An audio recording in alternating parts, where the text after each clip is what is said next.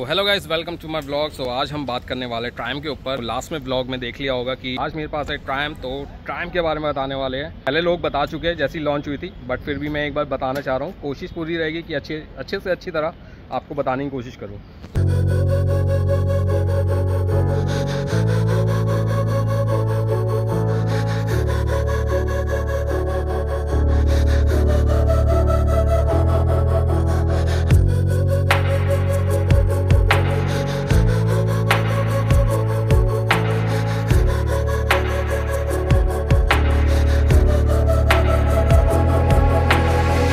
आपको देख ही चुका है। भाई, ये साफ़ दिख रही है फ़ोन। मतलब फ़ोन के अंदर, वीडियो के अंदर आपको साफ़ दिख रही होगी।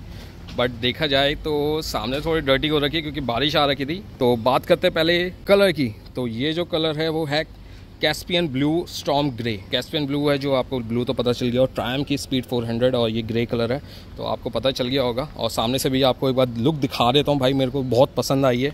शुरू से ही बहुत पसंद आई थी जब ये लॉन्च हुई थी, क्योंकि मेरा मन कर रहा था लेने का। एक सेकेंडरी बाइक में चाह रहा था, वो तो मैं यही चाह रहा था कि मेरे पास हो। काफ़ी अच्छी बाइक है। बाकी इसकी शोरूम मैंने पूछा था तो एक्स शोरूम प्राइस जो है वो दो लाख चौंतीस हज़ार का है। मतलब two lakh thirty four thousand, जो इसके ओनर है, उनको ये जो बाइक पड़ी थी, वो अराउंड इनको पड़ी थी दो सत्तर, दो सौ अस्सी। मतलब इतने की पड़ी थी इनको। कि ऐसी कोई एक्सेसरीज इन्होंने लगाई नहीं है, लगी लगाई सब आई थी इनके पास। तो बाकी आगे बात करें तो इंजन की बात करें तो 398 सीसी का इंजन है इसके अंदर। क्या लिक्विड कूल है? वाह लिक्विड कूल इंजन भाई देख रहे हो रेडिएटर देख रहे हो तुम आगे से? ये सीन लिक्विड कूल इंजन है और four valve single cylinder compression ratio उसका काफ़ी अच्छा है।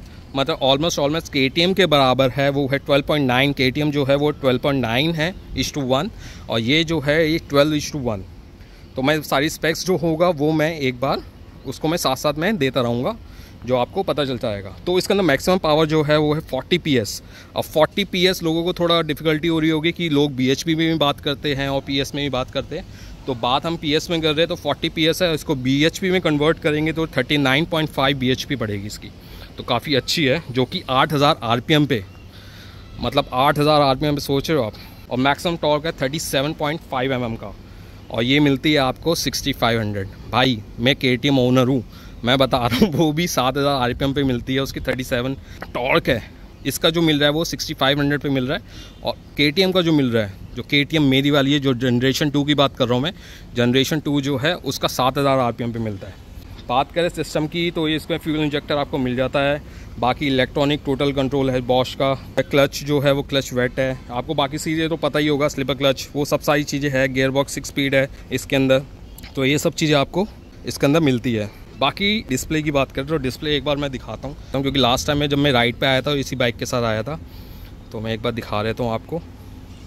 तो ये न्यूट्रल पे है। तो इंजन ऑफ़ इंजन बाकी ये आपको मेन्यू मिल जाता है ट्रैक्शन कंट्रोल करने का बाकी सारी चीज़ें, जो आप trip two trip one kilometres ये सारी चीज़ें आप आगे को कर सकते हो। ये ट्रैक्शन कंट्रोल है ऑन है अभी। इसको, इसके बारे में ही बताऊँगा ट्रैक्शन कंट्रोल ऑफ़ कैसे करना है। ये डिपर है मतलब बाकी चीज़ें देखा जाए तो मतलब क्वालिटी तो है भाई। ट्रैम क्वालिटी के लिए माना जाता है प्रीमियम क्वालिटी में बाइक आती है और देखने में भी कलर बहुत अच्छा है विजुअल कलर है। बाकी इधर है इग्निशन है। अरे भैया, ये तो कांड कर दिए। बाकी ये आपके चारों के चारों इंडिकेटर्स ऑन होने के लिए, ठीक है, जिससे आप कहीं भी फंसो तो आप इसको लगा सको। तो आगे बात करते हैं एनालॉग की तो एनालॉग डिस्प्ले मिल जाता है आपको। तो एनालॉग स्पीडोमीटर है, जिसमें मल्टी फ़ंक्शन जो है एलसीडी स्क्रीन है, ठीक है? और इसके अंदर मिलता है आपको traction control torque assistant clutch ABS LED ये सब चीज़ें आपको मिल जाती है। तो ए बी ट्रैक्शन कंट्रोल आपको मिल ही रहा होगा। ठीक है फ्यूल इंडिकेशन है न्यूट्रल है इग्निशन के लिए है ट्रैक्शन कंट्रोल यहाँ पे आप ऑन एंड ऑफ़ कर सकते हैं। ठीक है, बाकी चलने पे कर सकते हैं, ये तो मेरे को पता नहीं। अभी चला के देखेंगे तो तभी पता चलेगा। जो राइड व्यू आएगा, उसके लिए भी आप वेट कर सकते हो। तो प्लीज़ वेट करना उसके लिए। बाकी एबीएस है ए बी एस स्विचेबल नहीं है। ए आई थिंक स्टैंडर्ड है। ए बी एस आपको मिलेगा मिलेगा स्विचेबल नहीं है। जैसे आपको के के अंदर मिलता है उसमें। सुपर मोटो मोड में आपका रियर जो एबीएस होता है, वो ऑफ़ हो जाता है। आई डोंट थिंक सो कि इसमें होगा।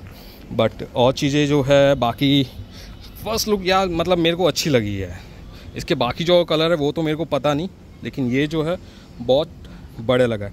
बाकी करें सस्पेंशन की बात तो सस्पेंशन है 43 थ्री mm का, जो कि सेम के वाला मिलता है, ठीक है? मैं के से इसलिए थोड़ा वो कर रहा हूँ क्योंकि मेरी जो बाइक है वो के ही रही है, सबसे पहली बाइक जो है स्पोर्ट्स बाइक में अगर जाना हो तो उसमें मेरे को वही बाइक मिली है। बाकी ये सब आपको गोल्डन कलर में मिल जाता है तो मतलब ये एक प्रीमियम क्वालिटी का लगता है मेरे को ब्लैक की बजाय इसमें अच्छा लगता है। जो सस्पेंशन है, जो फ्रंट सस्पेंशन सौ चालीस एम का व्हील ट्रैवल है। व्हील ट्रैवल मीन्स कि आपका जो सस्पेंशन जो है, ये वाला, ठीक है? ये हिस्सा जो है वन फोर्टी एम आपका ट्रैवल कर सकता है, ठीक है? लेकिन जो के है, उसका ट्रैवल थोड़ा ज़्यादा है, लेकिन इसमें नहीं है। तो आई डोंट नो शायद से के में ज़्यादा है। मैं मैं कुछ कह नहीं सकता तो अभी इतना मेरे को स्पेक्स नहीं पता है इसका तो मैं जैसे ही मेरे को पता चलेगा, वो कंपैरिजन आपका के के साथ मैं जूर लेके आऊँगा। तो अभी जो है 43 थ्री mm है सस्पेंशन फ्रंट और रियर सस्पेंशन जो है, वो है 130 थर्टी mm का wheel travel 130 thirty mm wheel travel मैं इसलिए कह रहा हूँ क्योंकि बात आ जाती है कभी कभार कि जैसे आप ऑफ़ करने वाले हो तो व्हील ट्रैवल जो जितना बम्प होता है ऊपर से नीचे जैसे जाता है तो वो चीज़ें आपको पता चल सकती है। प्री लोड बिल्कुल। इसके अंदर रिजर्वायर आप देख रहे हो एक। ये मुझे पता नहीं किसी ने बताया होगा कि नहीं, लेकिन ये जो रिजर्वायर आप देख रहे हो, ये मोटा मोटा सा, ठीक है? ये रिजर्वायर है और इसके अंदर प्री लोड आप कर सकते हो। ये आई डोंट नो आपको किसी ने बताया होगा। एक बार मैं चेक करके आपको कंफर्म करके बता दूँगा। बाकी बात करें आप टायर सेक्शंस की 17 इंच के लॉय मिल जाते हैं आपको 110 आगे मिलता है 150 पीछे मिलता है। आपको डिस्क मिल जाती है 300 एम mm की एंड दोनों में ड्यूल एबीएस है, और पीछे जो है 230 एम mm का, जो कि है अगेन सिंगल पिस्टन बाकी बात करें इसकी साउंड क्लियरेंस है, वो 170 सेवेंटी mm मिल जाता है, और जो इसका लेंथ है, यहाँ की फ्रंट टायर से लेके सबसे पीछे वाले टायर में जो है, वो है 2056 mm का। तो ये जो ये है वो लेंथ है ठीक है? विर्थ जो है इसका चौड़ापन जो है। चौड़ापन ए भाई बॉडी बिल्डर लग रहा है क्या?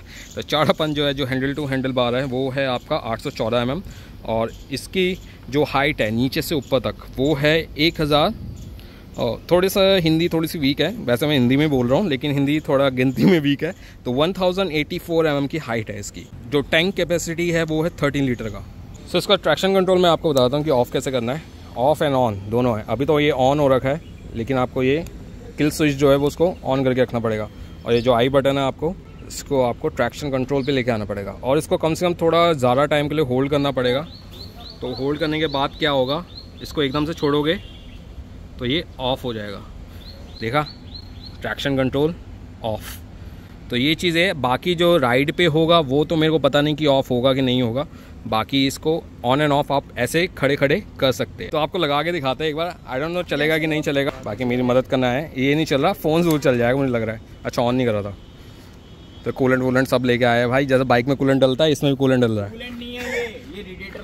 रेडिएटर फ़ैन है बाइक बाइक का रेडिएटर फ़ैन है वो भी वो भी चलता है। स्टार्ट हो गया। हाँ स्टार्ट हो गया जो चलेगा भाई। वैसा नहीं चलेगा वरना बैटरी फूक जाएगी आप लोगों की। ऐसा नहीं रेस देने के बाद फ़ोन लग जाएगा। जल्दी चार्ज हो जाएगा। ऑन तो कर ले, काका। ओ, भाई। भाई एक्स्ट्रा कूलिंग भी मिल गई है आपको। अगर बाइक अगर हीट होती है तो आप इसको लगा सकते हो।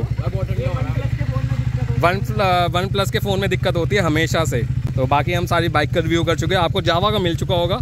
आप वो देख रहे हो? ये देख रहे हो? ये देख रहे हो? भाई साहब, क्या कमेंट आए थे इसके ऊपर? ओए होए। भाई, इसका भी जल्दी रिव्यू करेंगे दोबारा से, क्योंकि ओनरशिप रिव्यू बहुत ज़रूरी है। बाइक चलाते चलाते आपको पता चलता है कि बाइक का रिएक्शन कैसे है बाइक कैसे बिहेव कर रही है। कि बिहेव से ही पता चलता है, तभी चीज़ें चेंज करनी पड़ती है उसके अंदर। तो बाकी चीज़ें टाइप सी का भी मैंने आपको बता दिया है। तो ये ब्लॉग पूरा देखना, अगर पूरा नहीं देखोगे तो आपको कुछ समझ में नहीं आएगा। ये थी छोटी सी इन्फॉर्मेशन रह गई थी लास्ट में मैंने डाली है, लेकिन आप पूरी वीडियो ज़रूर देखना। बाकी एक बार इसका आपको एग्जॉस्ट नोट जो है, वो सुना देते हैं। अब पता नहीं एग्जॉस्ट नोट कैसा आएगा लेकिन ज़रूर सुनाते हैं आपको।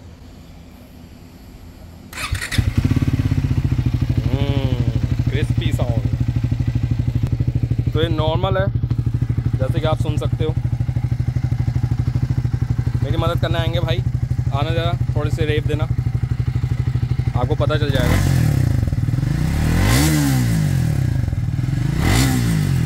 तो ये था एग्जॉस्ट नोट मिलते रहेंगे आपसे ऐसे ही छोटी छोटी ब्लॉग्स में, ऐसे ही ओनरशिप रिव्यू भी करेंगे अभी थोड़े टाइम में। एंड आपको पता चलता रहेगा कि बाइक को कैसे चलाना है और कैसे रखना है। जैसे कि मैं रखता हूँ, हमेशा साफ़ करके। अभी गंदी हो रखी है बारिश की वजह से। तो मिलते हैं आपसे नेक्स्ट ब्लॉग में। Till then bye bye and take care